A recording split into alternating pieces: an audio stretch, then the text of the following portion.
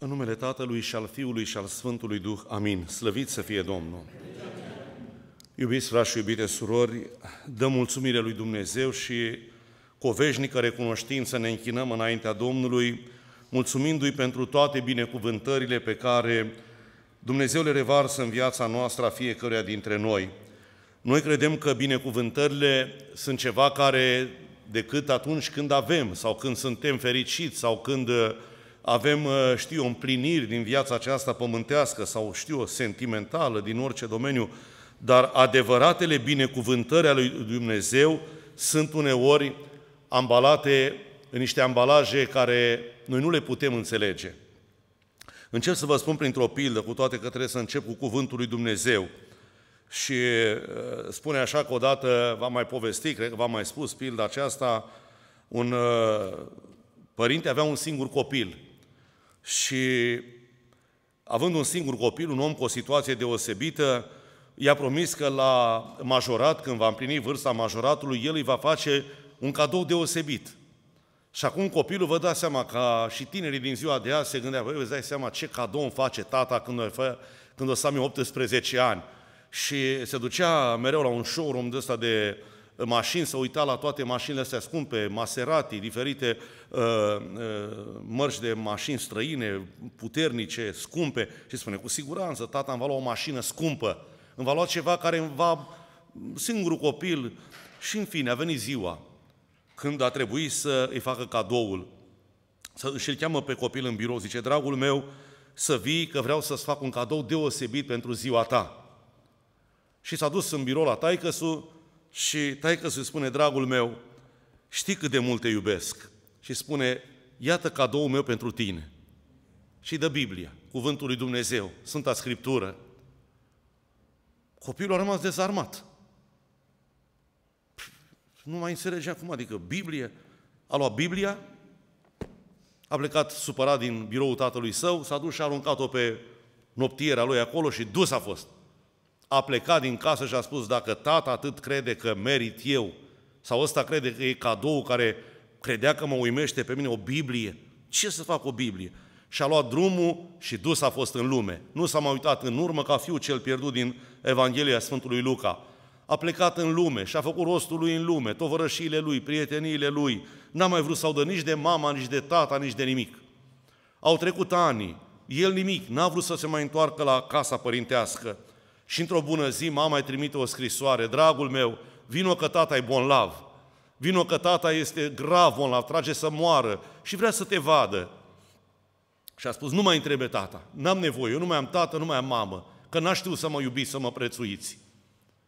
Și până la urmă s-a înduioșat el, Dumnezeu l-a, știu l-a muiat și s-a întors, dar deja nu îngropase pe taică A venit acasă, spășit, și zice, prea târziu ai ajuns, zice, tata e mormântat de trei zile. Dacă ai fi venit ceva mai devreme, tare îndurerat a plecat de dorul tău. Și acum uh, el uh, s-a dus la el în cameră unde, știți, a aruncat el Biblia, se duce și pune mâna pe Biblie, zice, ca amintire de la tata lui și deschide Biblia. Când o deschide, ce credeți că era la mijlocul Bibliei? Cheia de la mașina care își aștepta el. Vedeți, binecuvântările lui Dumnezeu că deodată sunt ambalate niște lucruri care noi nu dăm doi bani pe ele. Ă, când Mântuitorul a spus, căutați mai întâi împărăția lui Dumnezeu și neprihănirea lui și toate celelalte vor veni pe deasupra, în capitolul 6 de la Evanghelia de la Matei, n-a spus-o așa ca să ne placă nouă, ci ne-a spus că toate binecuvântările lui Dumnezeu vor veni peste noi dacă ascultăm de Domnul. Și în psalmist la psalmii lui David spune, voi binecuvânta pe Domnul în orice vreme. Iov, care era omul lui Dumnezeu, atunci când a fost pus la proba încercării, când Dumnezeu i-a luat totul, avere, copii, casă, situația lui, până și sănătatea a luat-o Dumnezeu, că i-a dat o boală grea, femeia lui îl îndeamnă și spune, omule, blesteamă pe Dumnezeu și mori. Și spune, femeie nebună, cum am primit cele bune de la Dumnezeu, nu trebuie să le primim și pe cele rele sau pe cele mai puțin bune și spune un cuvânt memorabil care a rămas în mintea tuturor oamenilor, chiar și a celor necredincioși. Domnul a dat, Domnul a luat, fie numele Domnului binecuvântat. A binecuvântat pe Domnul în suferință.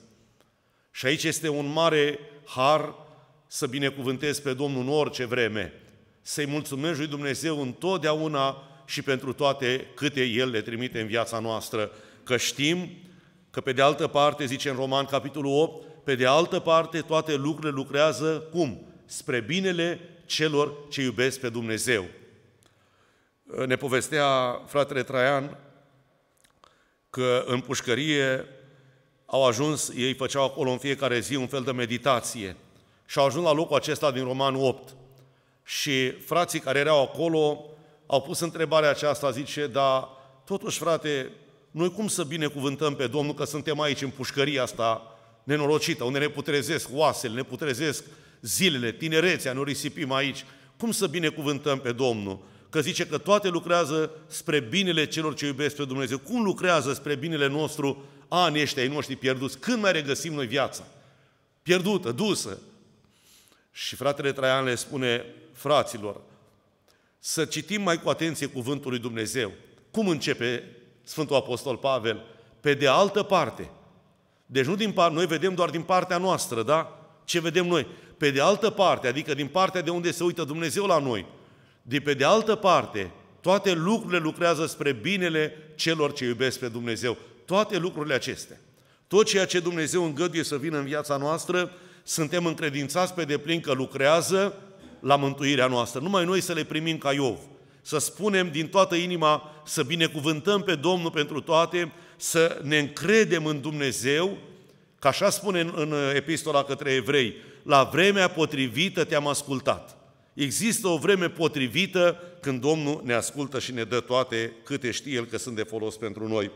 Aș vrea să merg tot la Evanghelia de astăzi, pentru că este o bogăție de cuvânt în Evanghelia de astăzi, de la capitolul 21 de la Sfântul Matei, cu pilda lucrătorilor răi, pilda vierilor. O pildă care nu se adresează numai poporului evreu ca entitate, ci și nouă ca oameni care ne-am angajat în lucrarea lui Dumnezeu. Vedeți, ne-a trimis Dumnezeu pe fiecare dintre noi, ne-a chemat să lucrăm în via Lui. Aici noi am intrat într-o lucrare, cum spune Mântuitorul în capitolul 4 de la Ioan, v-am trimis să adunați de acolo de unde voi n-ați semănat.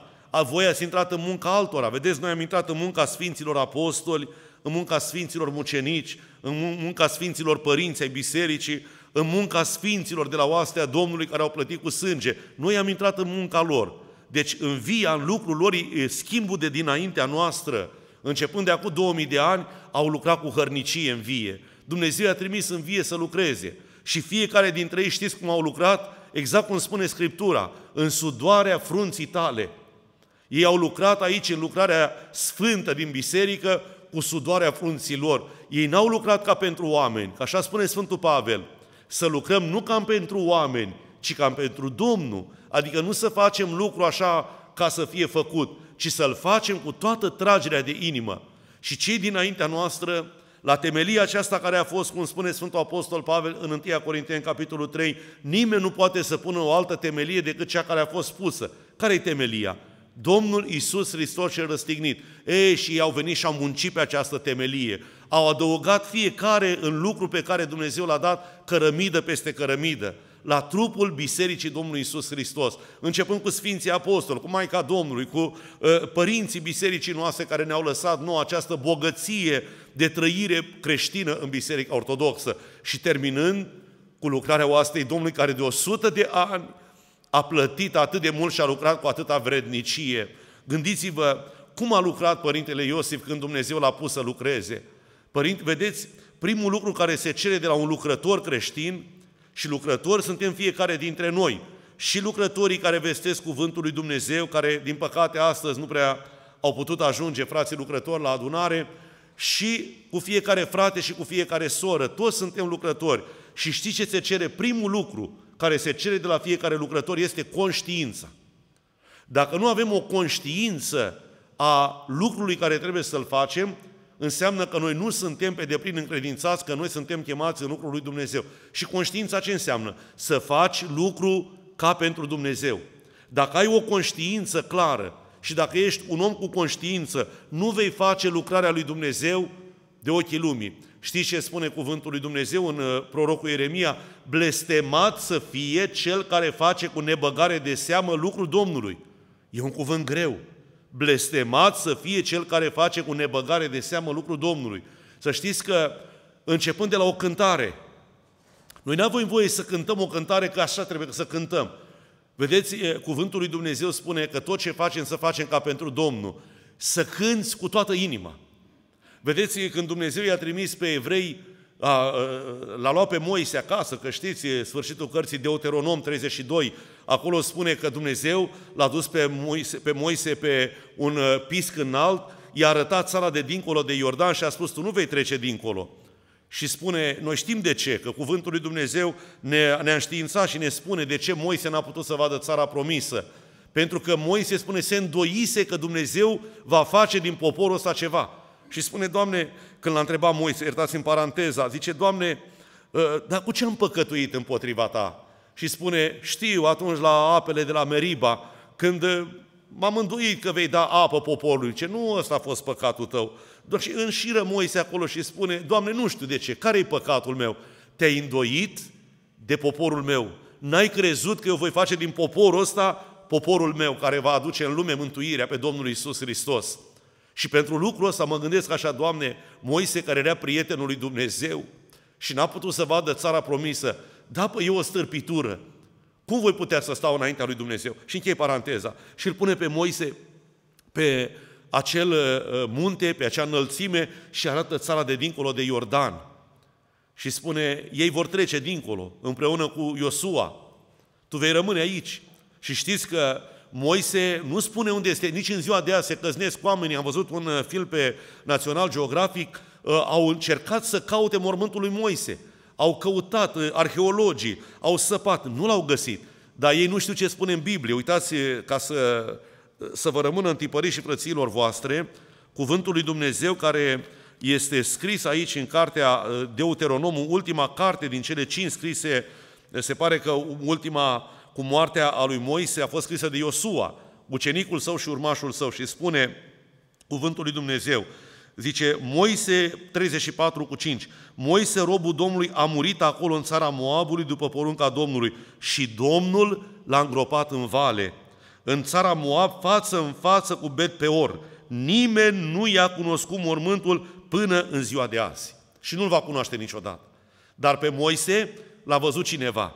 L-au văzut cei trei apostoli pe muntele schimbării la față la Tabor, când l-au văzut acolo împreună cu Domnul Isus pe Ilie și pe Moise stând de-a dreapta și de-a stânga Domnului.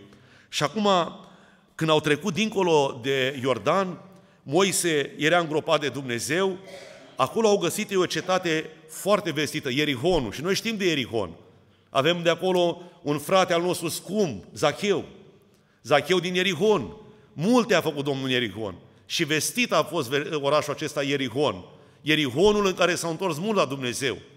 Și acolo, la Ierihon, Dumnezeu a spus, vei cuceri Ierihonul, dar nu cu mâinile tale. Și știți ce le-a spus? Să luați în fiecare zi, să luați strâmbițele și să dați ocol cetății să cântați. După ce au dat ei ocol mai multe zile, în ultima zi când au început să sune din trâmbițe, au început să cadă zidurile. La sunetul, la sunetul trâmbiței.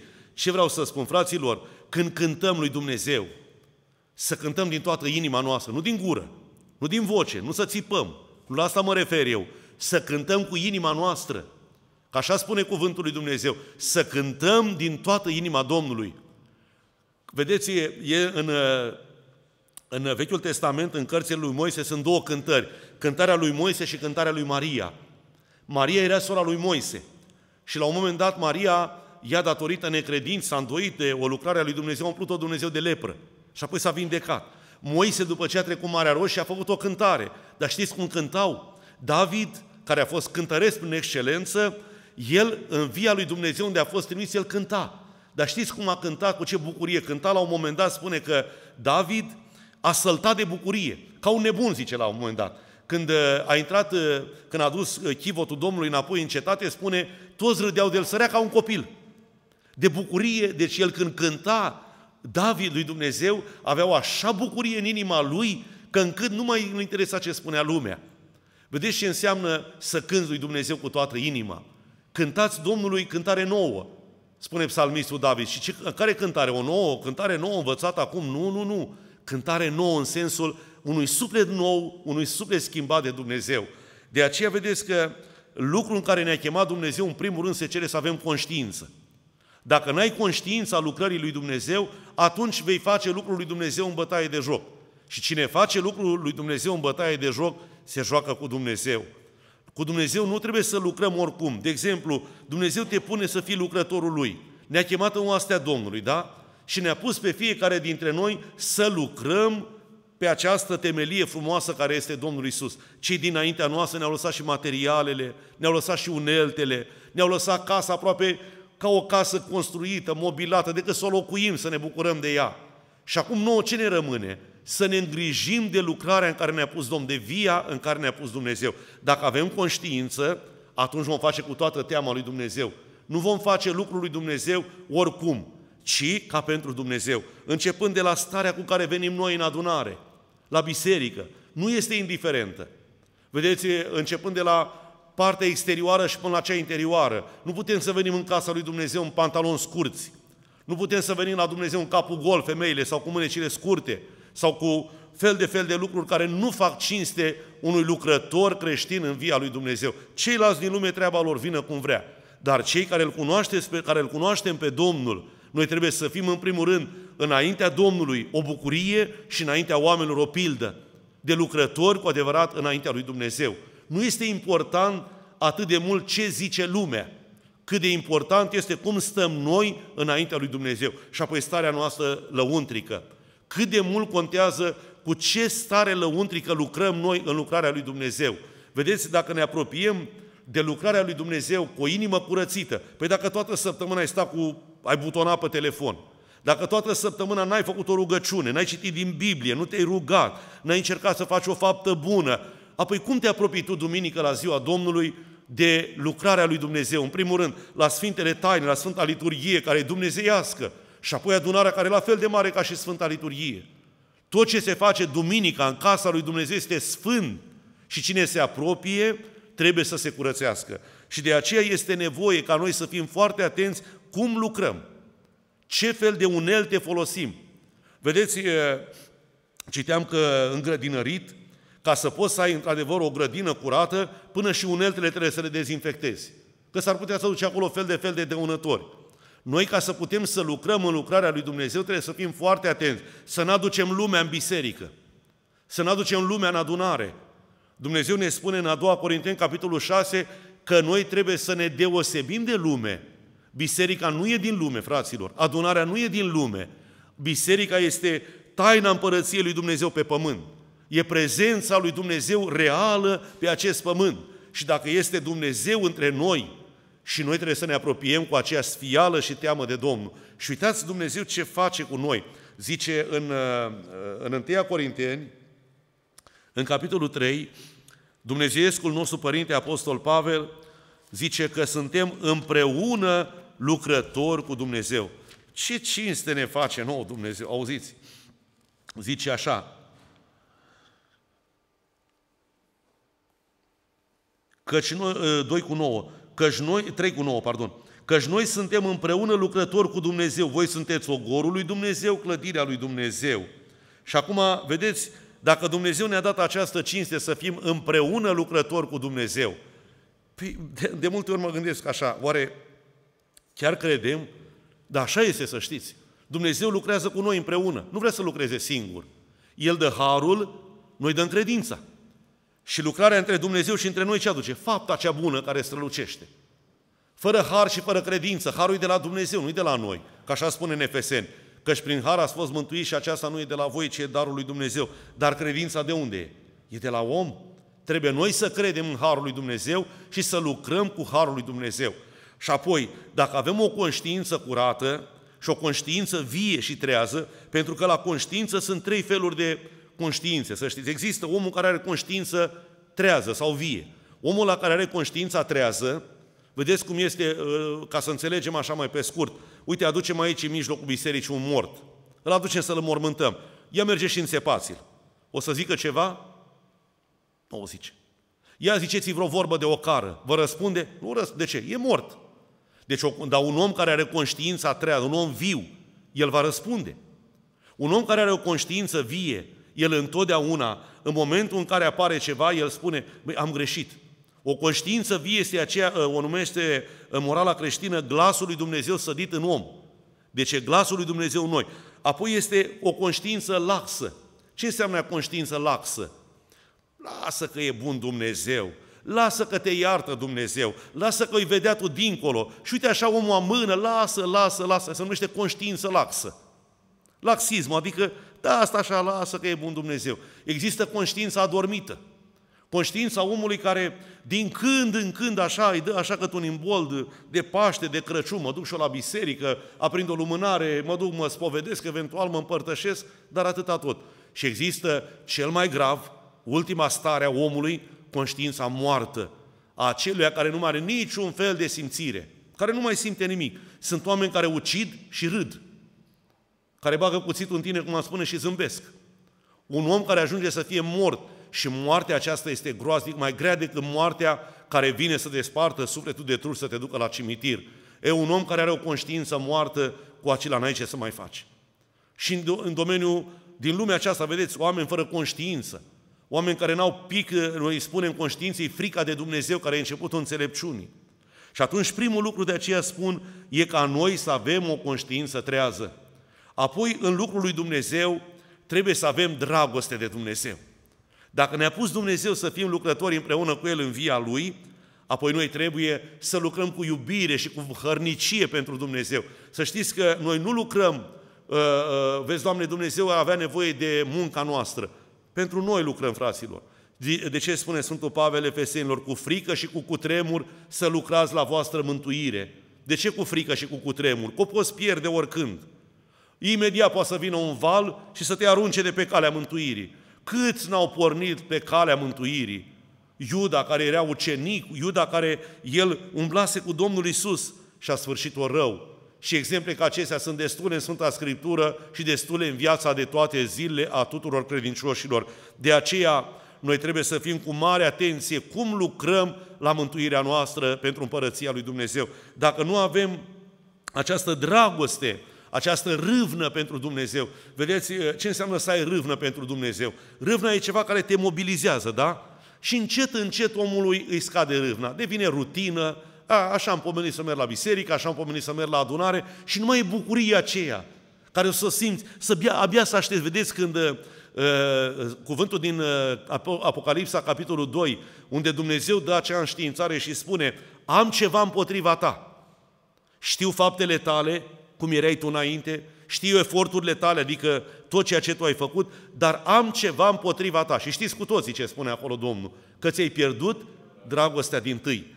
Cât de important este să rămânem în lucrarea lui Dumnezeu și lucrul care îl avem de făcut în aceeași dragoste.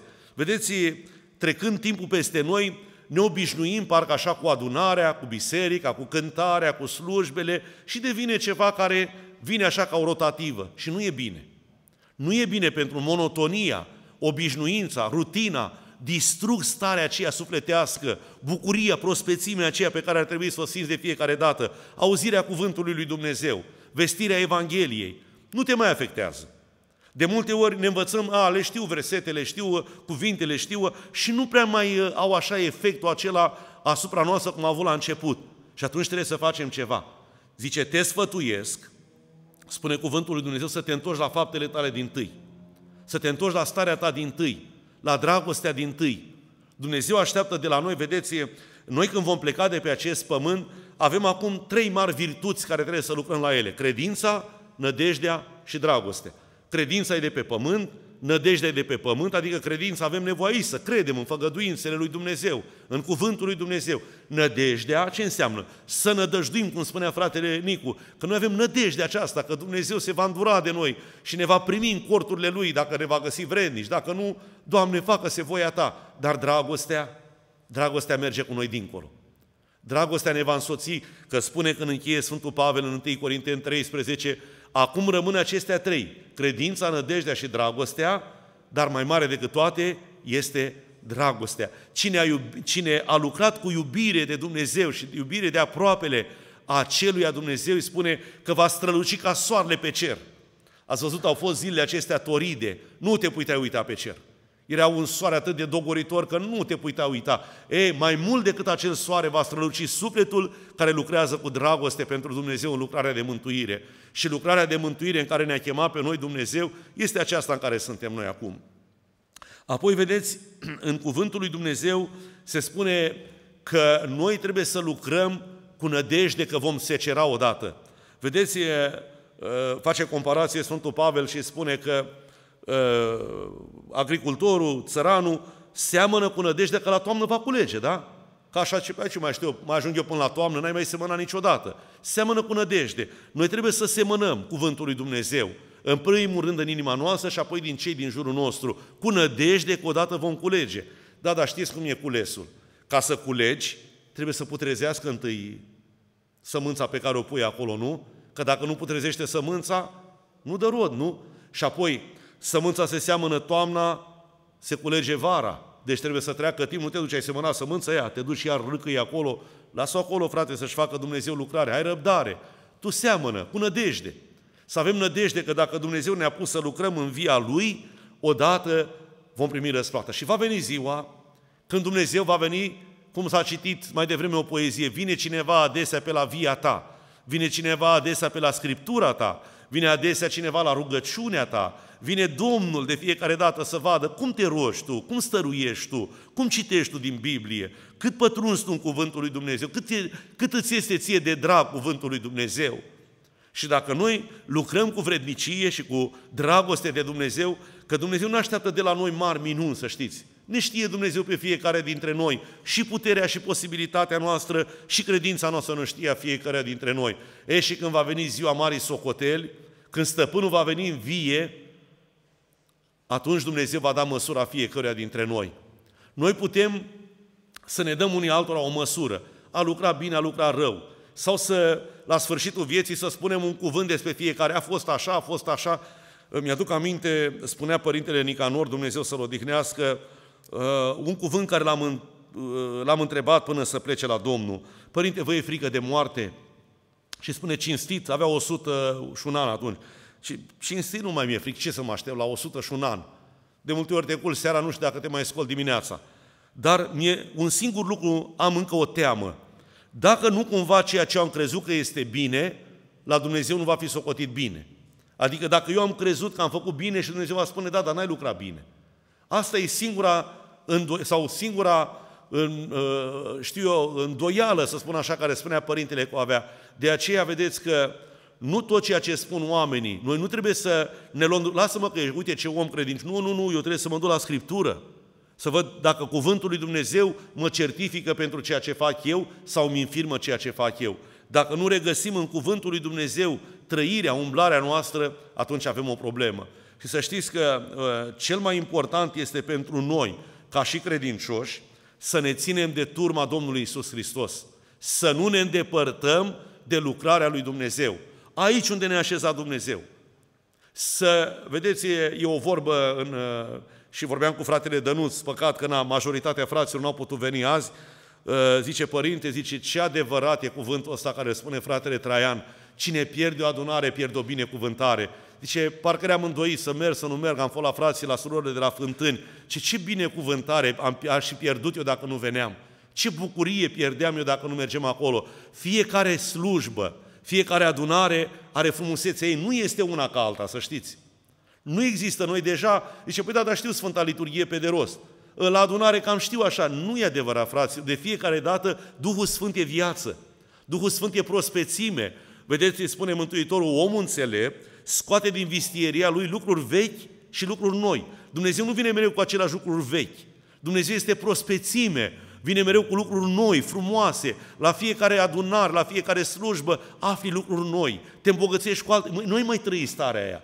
Parcă ai mai trecut tu pe acolo prin Biblie, ai citit în Biblie, dar când ajungi de multe ori zici, Doamne, dar de câte ori n-am citit eu aici în Biblie, dar n-am văzut locul ăsta. N-am înțeles așa lucrul acesta. Și de fiecare dată Duhul lui Dumnezeu ne dă altă stare.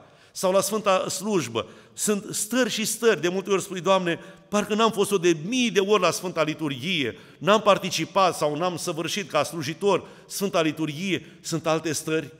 De fiecare dată sunt noi și noi stări pe care Dumnezeu le aduce în viața credinciosului.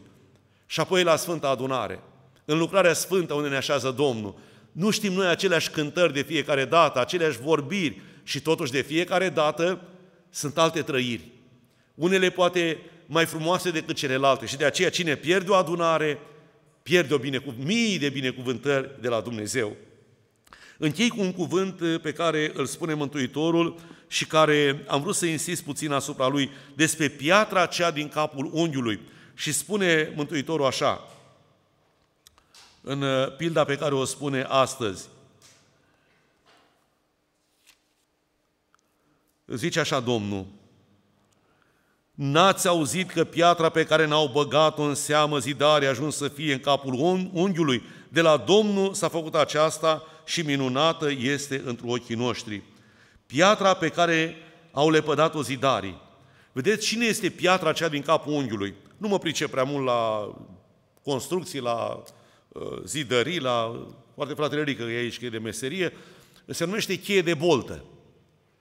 O, o bucată de piatră care încheie toată bolta. Fără ea nu se încheie lucrarea. Spune că atunci când s-a făcut templul din Ierusalim, uh, scrie în cuvântul lui Dumnezeu în uh, cartea 1-2 Împărați, 1-2 Samuel, când Dumnezeu a poruncit lui David să facă templul, a spus, tu n-ai să faci templu că ai mâinile pătate de sânge. Fiul tău care va veni după tine va face o casă. Și Solomon a început să facă casă. Și dacă citiți cu atenție, o să vedeți cum i-a spus Dumnezeu să facă casa templului Dumnezeu. I-a spus Dumnezeu și măsura fiecarei pietre. I-a spus și de unde să aducă lemnele, pietrele. Dar a spus să nu se audă ciocan, lovitură de ciocan în Ierusalim. Toate pietrele au fost zidite, făcute în afară, cioplite în afară, fasonate în afară, nimic nu s-a zidit, nimic nu s-a făcut în Ierusalim, în cetatea sfântă. Ce vrea să spun aceasta? Că Domnul Isus a pregătit biserica aici pe pământ, nu în ceruri, templul însimboliza cerul. Și acum spune că zidarii aveau toate pietrele pregătite. Fiecare piatră era numerotată, știa unde să vină, care e de la temelie, care e de la zidire, care e de la boltă, care e de la știu eu ce erau pe acolo toate lucrările, uh, uh, diferiți uh, pilaștri care trebuiau făcuți. Și la un moment dat zidarii se împiedicau de o piatră. Și pe asta nu se potrivește nicăieri. Care o găseau? O lua și arunca. Zice, piatra pe care n-au băgat-o, care au lepădat-o zidarii. Toți o lepădat și cred că asta n-are, cred că s-a greșit, zice, cu ea. Cred că piatra asta n-are niciun rost. Nu, nu-i găsim rostul. Au ajuns ei până sus, hai să încheie cheia de boltă. Și nu puteau să o încheie. Rămăsese doar o piatră. Când au pus piatra acolo, s-a încheiat zidirea. Domnul Isus este piatra scumpă. Domnul Isus este piatra lepădată de zidari, care n-a băgat-o nimeni în seamă. Domnul Isus a trăit 30 de ani necunoscut, frații mei. Nu știa nimeni de Domnul Isus. Nici de Fecioara Maria, nici de bătrânul Iosif. De Ioan Botezătorul toți știau. Dar de Domnul Isus nu. Și a venit o zi când omul lui Dumnezeu de care s-a spus Sfântul Ioan Botezătorul a spus în gura mare, sau de toți, iată mielul lui Dumnezeu. Iată-l pe acela care ridică păcatele lumii și a îndreptat toate privirile spre Domnul Isus, spre piatra cea scumpă, el care era lepădat de oameni, dar care a ajuns să fie scumpă înaintea Domnului. Ei, piatra aceasta, spune Mântuitorul un cuvânt așa, Cine va cădea peste piatra aceasta va fi zdrobit de ea. Cine va cădea peste piatra aceasta? Și vă trimit decât un singur rol la Sfântul Apostol Pavel, când era el prigonitor al Domnului Saul din Damasc.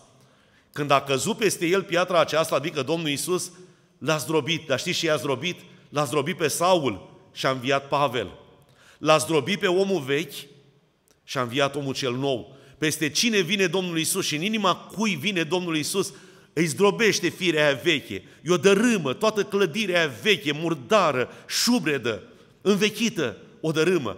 Aceea spune cuvântul lui Dumnezeu, cine va cădea peste piatra aceasta, aceasta va fi, acesta va fi zdrobit de, iar pe acela peste care va cădea ea, îl va spulbera.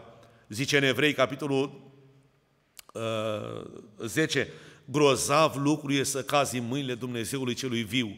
Vedeți, cine se poate lua la trântă cu Dumnezeu, să spun așa? Cine poate să-i pună întrebări lui Dumnezeu? Poți să-i pui, da? Faci ca tânărul bogat de duminica trecută. S-ar putea să-ți dea un răspuns Dumnezeu să te înfunde.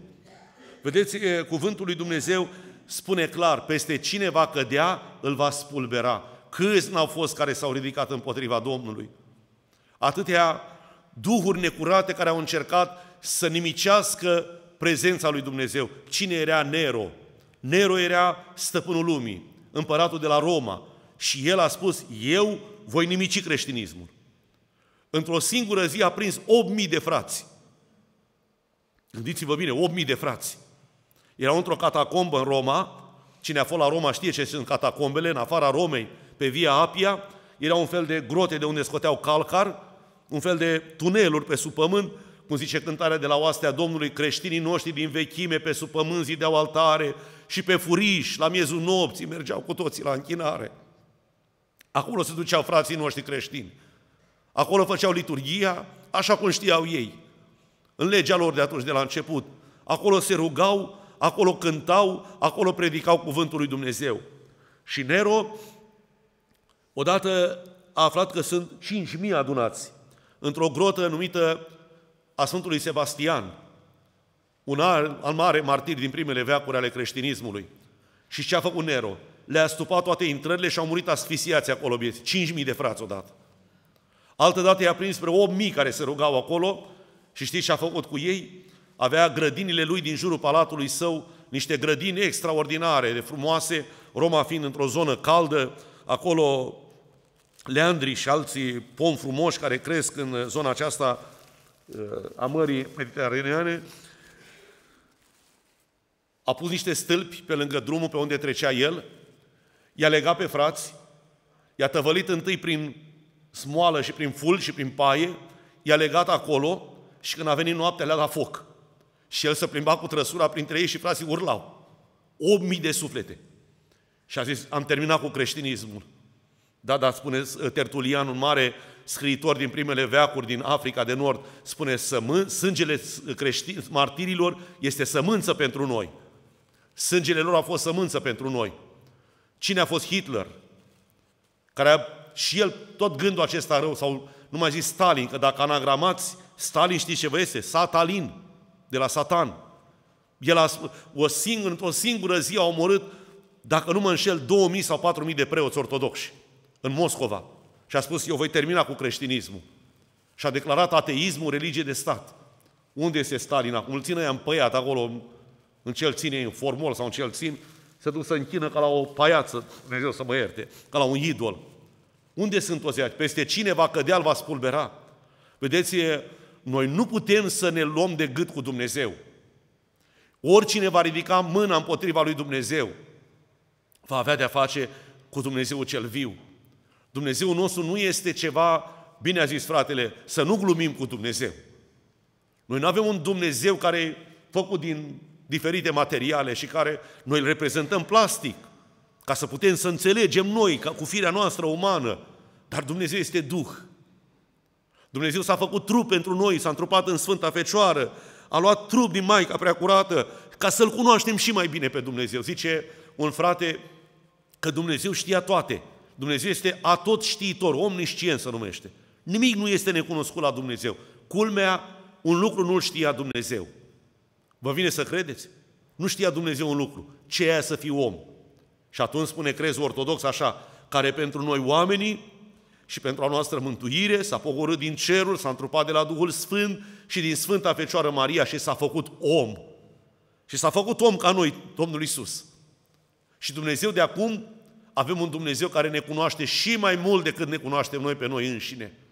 De aceea vedeți că oricine vrea să se ridice împotriva lui Dumnezeu, piatra aceasta îl va sfărâma. La sfârșit, spune cuvântul lui Dumnezeu în Tesaloniceni, capitolul 2, a doua Tesaloniceni 2, spune că Dumnezeu îi va spulbera cu suflarea gurii sale pe toți potrivnicii lui. S-a citit la începutul adunării un psalm, psalmul 2. Nu știu dacă ați fost atenți. Mie foarte mult îmi place acest psalm și de multe ori am meditat asupra lui și asupra învățăturii care vine și are fratele Traian, dacă vreți să citiți, Comoara Psalmilor. Și acolo sunt meditațiile fratelui Traian la acest psalm. Și spune așa, pentru ce se întărâtă neamurile și pentru ce cugetă popoarele lucruri de șarte? Împărații pământului se răscoală și domnitorii se sfătuiesc împreună împotriva Domnului și împotriva unsului său. Adică cum? Împotriva Tatălui, cine e unsul? Domnul Isus, Fiul lui Dumnezeu. Și au zis ce zic? Zicând, să le rupem legăturile, să scăpăm de lanțurile lor. Și acum răspunde Dumnezeu, cel ce șade în ceruri, râde de ei. Dumnezeu spune, vai de tine furnica amărâtă. Cum poți tu ă, în ă, cartea lui Isaia să vedeți mai, mai a priori spune cuvântul lui Dumnezeu sau lui Iov când îi răspunde mă iertați că mai lungesc puțin cuvântul și închei. Nu vreau să vă obosesc cu toate că n-au fost azi frați lucrători. Ă, sper să, să găsesc locul acela frumos din Biblie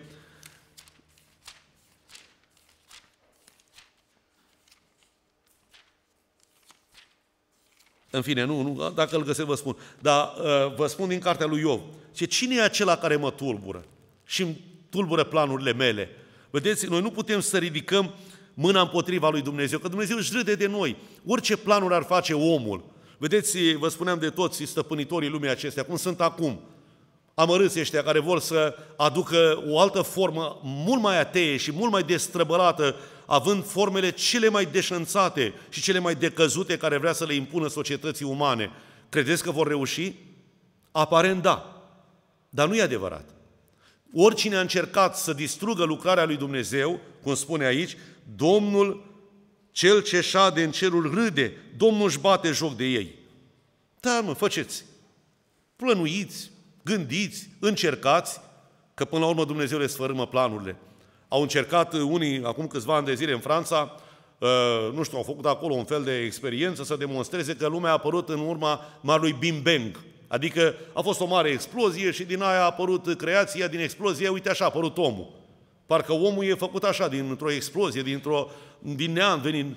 Și știți ce? Ei au spus, gata, în câteva zile vom demonstra lumii că lumea așa a apărut. Și ce s-a întâmplat cu ei? S-a ales praful de mașinăria lor. Le-a distrus-o Dumnezeu. Pentru că noi nu putem, vedeți, Dumnezeu nu este ceea ce credem noi, nu e jucăria noastră. Cu Dumnezeu e piatra cea din capul unghiului. Dumnezeu și pentru noi oamenii, cel mai important lucru care trebuie să-l ținem cont este că Dumnezeu l-a dat pe Fiul Său pentru noi. Cine nu crede în Domnul Isus, în Fiul Său iubit, pe altul nu mai trimite Tatăl, să știți.